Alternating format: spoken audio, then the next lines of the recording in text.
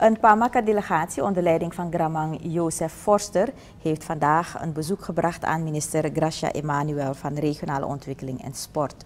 De delegatie is afgelopen weekend in de stad gearriveerd voor de beëdiging van de Gramang. Tijdens het bezoek heeft de delegatie gewezen op enkele zaken waarmee het Paramakaans gebied te kampen heeft. Diverse sprekers hebben de noodzaak van de brandstofvoorziening aangekaart. Er is een verzoek gedaan aan de minister om voor de komende feestdagen de bewoners te voorzien van brandstof.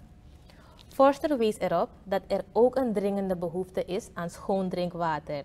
Het bronwater dat daar gebruikt wordt is vervuild. Minister Emmanuel zei dat ze deze verzoeken zal doorgeleiden naar haar collega van Natuurlijke Hulpbronnen. Nou, dat was uh, minister Gracia Emanuel van Regionale Ontwikkeling en Sport die bezig was bij de beëdiging van de Gramang.